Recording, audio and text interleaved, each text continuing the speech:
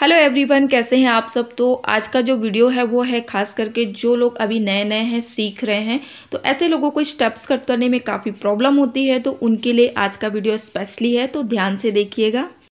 तो लेंथ आप सबने इनकी देख ली है तो विदाउट लेंथ शॉर्ट के बहुत ही अच्छे से कटिंग बताऊँगी आप सबको। अक्सर जैसे कि लोग न्यू होते हैं नया नया पार्लर स्टार्ट करते हैं या सीखते रहते हैं तो लोगों को बड़ा डर होता है ना कि कैसे करें, क्या करें, बहुत ही डिफ़िकल्ट जैसे हाथों में ज़्यादा हम ट्विस्ट करते हैं या घुमाव दे के मूव करके कटिंग करते हैं तो लोग उसमें कन्फ्यूज़ हो जाते हैं कि ये तो हमसे नहीं होगा, कैसे करेंगे? तो बिल्कुल घबराए नहीं, जो प्रोसेस अभी मैं बताऊँगी वो बहुत ही ज़्यादा ईजी है। तो देखिए, सबसे पहले सामने से गाइडलाइन रेडी करना है, उसके लिए ईयर टू ईयर पार्टिंग में कर ली हूँ और उसके बाद इस तरीके से बराबर कट कर देना है। ठीक है? तो पहली वाली जो सेक्शन है, जो लेयर है, इसको हम थोड़ा सा मीडियम ही रखेंगे, ना बहुत शॉर्ट करेंगे, ना बहुत लॉन्ग रखेंगे। तो ये जो तरीका होता है गाइडलाइन बनाने का मेज़र करने का, सबसे ज़्यादा इजी प्रोसेस होता है। या फिर आप पीछे जाके शोल्डर के पास से भी मेज़र करके कट कर सकते वो टेक्निक भी मैं बता चुकी हूँ, उसको भी आप चैनल पे चेक कीजिएगा। तो इस तरीके से देखिए, बराबर कट कर लेना है। तो यहाँ पे क्या हुआ देखिए, सामने से कटिंग भी हो गई और हमारी गाइडलाइन भी रेडी हो गई साथ ही साथ। उसके बाद में पीछे की तरफ़ हेयर को लेके आएँगे और अब हम यहाँ पे करेंगे बॉक्स पार्टिंग बहुत ही क्लियरिटी के साथ में आपको दिखा रही हूँ। पास से इसी वजह से देखिए और पार्टिंग को बहुत अच्छे से क्लियर कर लेंगे। ये देखिए, तीनों तरफ़ से इक्वल हेयर को निकालेंगे। गोलाई से नहीं निकालना है बॉक्स जैसे होता है, चौकोर उस टाइप से निकालना है। और ऊपर की तरफ़ लेके जाएँगे और जो सामने से हमने पहले कट किया हुआ है चिन एरिया से नीचे, वही हमारी मेन गाइडलाइन है और उसी को जो है हम मेज़र करेंगे और उसी के बराबर इस हेयर को कट करेंगे। तो लेंथ पीछे की शॉर्ट ना हो, उसके लिए आपको करना क्या है, सामने की तरफ़ थोड़ा झुका के कोमिंग करनी है। और इस तरीके से यहाँ पे बराबर कट कर देना है। सामने की तरफ़ डाउन करके झुका के जो है आप मेज़र करोगे कट करोगे तो उससे क्या होगा कि जो पीछे की लेंथ है ना, वो बिल्कुल भी शॉर्ट नहीं होगी। इस वजह से मैं आपको बताई हूँ कि सामने की तरफ़ आपको जो है डाउन करके जो है सामने तरफ़ ले जाके कोम करना है और मेज़र करने के बाद में पीछे हाथ ला के कट करेंगे, क्योंकि एकदम सामने ले जाके कटिंग करना पॉसिबल नहीं होता। उसके बाद एक बार रीचेक कर लेंगे। तो ये हमारा बॉक्स एरिया कट हो गया। अब जो है नीचे के हेयर कट करने के लिए तीनों तरफ़ से हम थोड़े थोड़े से हेयर को निकाल लेंगे गाइडलाइन के लिए, क्योंकि नीचे के हेयर हम इसी के हिसाब से कट करने वाले हैं। तो ये जो है कंप्लीट हो गया। अब मैं आपको नीचे का हेयर कट करना बताऊँगी। और उसके बाद में नीचे के जो हेयर बचे हैं, उसको हम इस तरीके से चार से पाँच भागों में डिवाइड करके कटिंग करेंगे। ये देखिए। इसको हम बिल्कुल सीधा लेके जाएँगे। इसमें आपको कुछ भी हाथ को घुमाने की ज़रूरत नहीं है मूव नहीं करना है ट्विस्ट नहीं करना है, बिल्कुल आपको सीधा सीधा ही ऊपर की तरफ़ लेके जाना। मैं आपको दिखा रही हूँ भी जस्ट देखिएगा। इस तरीके से देखिए, ऊपर की तरफ़ ले जाना है बिल्कुल सीधा 180 डिग्री पे, और उसके बाद में इसे बराबर हम कट कर देंगे। ठीक है? कटिंग भी आपको बराबर करनी है। और कई लोगों के मन में ये डाउट होता है ना कि ऊपर एकदम सीधा ले जाके हम कट करेंगे तो लेंथ शॉर्ट हो जाएगी। तो बिल्कुल भी ऐसा नहीं होगा। इससे लेंथ शॉर्ट नहीं होती है। ये देखिए। क्योंकि आपको जितना ज़्यादा लंबा रखना है, आप बिल्कुल सीधा लेके जाएँगे और जितना काटना होगा, उतना ही तो काटेंगे ना। एक्स्ट्रा थोड़ी ना काटना है।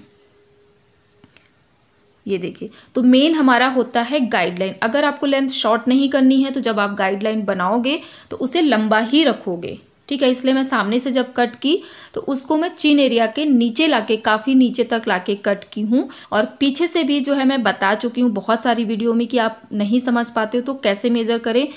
आप बोलोगे तो मैं एक नई वीडियो में और भी बता दूँगी कि आप किस तरीके से शोल्डर के पास से मेज़र करके भी कटिंग कर सकते हैं। अगर आपको गाइडलाइन नापने नहीं आता है कि कैसे बनाए तो वो टेक्निक भी बहुत अच्छी है। तो बस इस तरीके से देखिए बराबर कट करते हुए चले जाना है। तो स्टेप्स कटिंग का ये सबसे ज़्यादा इजी प्रोसेस है। बिल्कुल सीधा सीधा है, बहुत इजीली आप लोग कर पाएँगे। तो यही प्रोसेस हमें पूरे बालों पे जो है कर लेना है। तो बस आप लोग ध्यान से देखते हुए चलिए। गाइडलाइन के लिए जो लेयर हम कट कर लेंगे, वहाँ से थोड़ी सी एक लेयर को निकालेंगे बालों को और कटिंग करने वाले हेयर के साथ में हम मिक्स कर लेंगे। तो हमें दो गाइडलाइन मिल जाता है, एक ऊपर का और एक साइड का। जो हेयर कट होते जाता है, वहाँ से हमारी जो गाइडलाइन है, वो रेडी होते चली जाती है।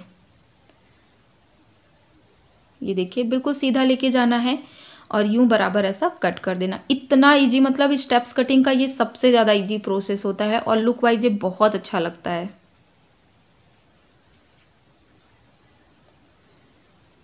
और वैसे तो मैंने बहुत सारी हेयर कट की वीडियो डाली हुई जिसमें बहुत अलग अलग तरीके बताए हुए हैं। तो ये वाला टेक्निक मैं आपको इसलिए बता दे रही हूँ क्योंकि अभी बहुत ज़्यादा मैसेज आ रहे थे कि मैम हमें स्टेप्स कट अभी हम लोग सीख रहे हैं तो समझ में नहीं आता कि कैसे करें, हाथों को किस तरीके से ट्विस्ट करना है, कैसे मूव करें, वो चीज़ें समझ में नहीं आती हैं। तो स्टार्टिंग आप इस तरीके से करिए। इस तरीके से करते करते ना आप जैसे आपका कॉन्फिडेंस बढ़ेगा, आप अच्छा काम करने लगेंगे तो आप जो है हर टाइप का कटिंग करने के लिए आप मतलब बिल्कुल तैयार रहेंगे। आपको डर भी नहीं लगेगा और आप बहुत ही इजीली कर पाएँगे। सबसे मेन है कि आपके अंदर का डर निकले और जब आप एक कटिंग परफेक्ट कर पाओगे तो नेक्स्ट आगे की भी सारी कटिंग आप अच्छे से कर पाएँगे। तो ये देखिए लास्ट वाले सेक्शन को भी इस तरीके से कंप्लीट कर लेना है। और इस कटिंग में ज़्यादा टाइम भी नहीं लगता, बहुत जल्दी कंप्लीट होता है।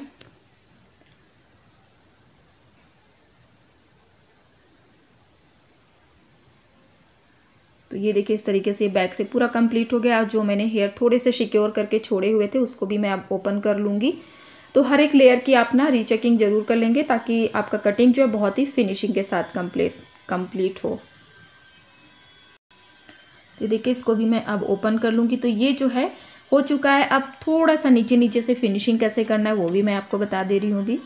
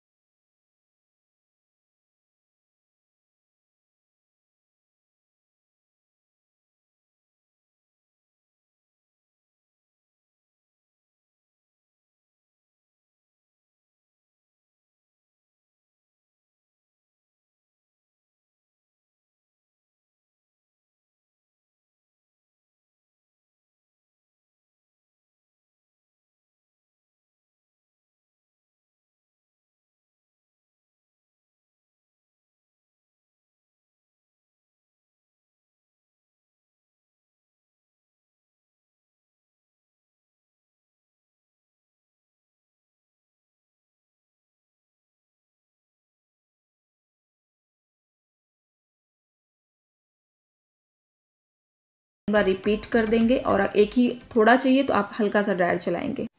तो ये देखिए, कुछ इस तरीके से इनका लुक आया है हेयर कटिंग का। बताइएगा ज़रूर कि कैसा लगा। मतलब इनकी लेंथ भी शॉर्ट नहीं हुई है और बहुत अच्छे से इनकी कटिंग भी कंप्लीट हो गई है। देखा ना कटिंग का टेक्निक बहुत ईजी था बट आप लोग बताना कि आप सबको कैसा लगा। सो so गाइज़ कैसा लगा वीडियो कमेंट करके ज़रूर बताना और इस टाइप की वीडियोस को ज़्यादा से ज़्यादा शेयर किया करें ताकि ज़्यादा से ज़्यादा लोग सीख सकें। तो मिलते एक नई वीडियो के साथ में, तब तक के लिए बाय बाय